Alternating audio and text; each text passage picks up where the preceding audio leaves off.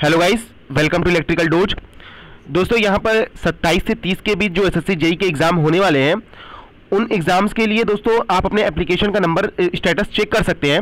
यहाँ पर दोस्तों, लगभग सारे रीजन्स के स्टेटस लगभग आ चुके हैं। यहाँ पर उत्तर प्रदेश, जो बहुत सारे लोग कैंडिडेट्स उत्तर प्रदेश के रीजन जो एन रीजन है, उसके स्टेटस का वेट कर रहे थे तो उसका भी स्टेटस आ चुका है दोस्तों। आप सभी लोग अपना स्टेटस चेक कर सकते हैं। दोस्तों स्टेटस में आपको एग्ज़ाम सिटी एग्ज़ाम डेट और स्विफ्ट के बारे में आपको जानकारी मिल जाएगी। अभी फाइनल एडमिट कार्ड नहीं आया हुआ है कुछ रीजन्स का। तो एडमिट कार्ड जैसे ही आएगा, मैं आपको वीडियो के माध्यम से बता दूँगा।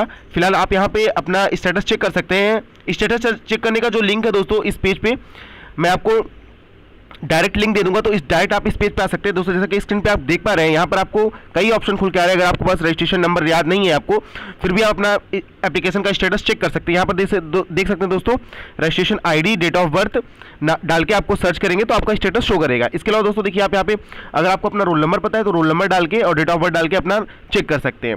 इसके अलावा दोस्तों अगर आपको अपना रोल नंबर और रजिस्ट्रेशन नहीं भी पता है तो भी आप अपना नाम पिताजी का नाम यहाँ पे देख देख रहे हैं लिखा है आप फ़र्स्ट फोर करेक्टर्स और फ़र्स्ट फोर करेक्टर आपको डालने हैं और यहाँ पे अपना डेट ऑफ़ बर्थ डाल के आप अपना स्टेटस चेक कर सकते हैं। इस इस पेज का लिंक दोस्तों मैं अपने वीडियो के डिस्क्रिप्शन बॉक्स में दे दूँगा, जहाँ से आप उस लिंक पर क्लिक करते ही आप डायरेक्ट इस पेज पे रीडायरेक्ट हो जाएँगे और अपना आप स्टेटस चेक कर सकते हैं। तो दोस्तों, इस वीडियो में इतना ही। Thanks for watching this video see you next time